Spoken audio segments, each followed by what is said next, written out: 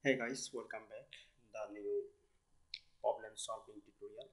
So in this tutorial we solve a problem of kotlin upgrade version. So when i am running my application?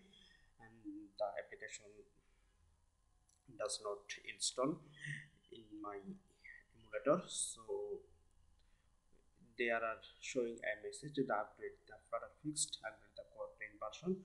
So ext.kotlin version latest version.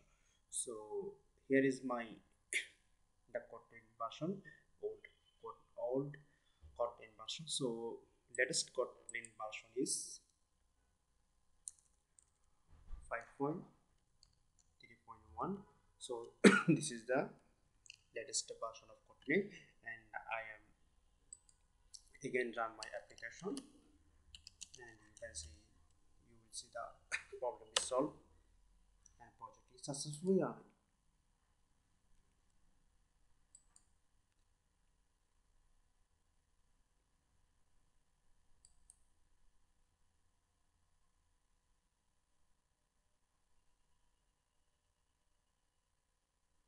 so i think this tutorial is helpful for you. So if you face any problem please comment in the comment section. I will support you as soon as possible.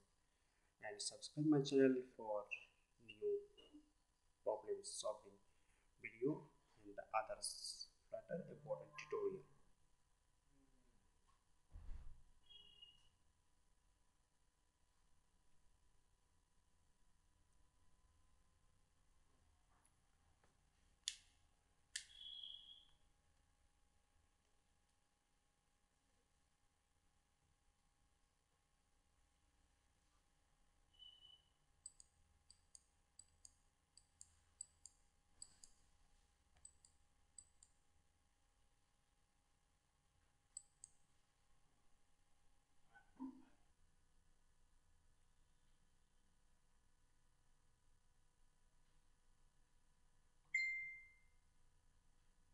so you can see this the program is successfully running.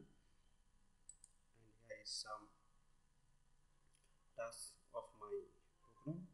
So i think this tutorial is helpful for you. So thanks for watching this video. And one is the most important the gradle file is android inside the android folder not app folder. It's post on android folder go to the Flutter project and android folder and you can see the build.gradle file in here. So this is the latest version of kotlin. So thanks for watching this video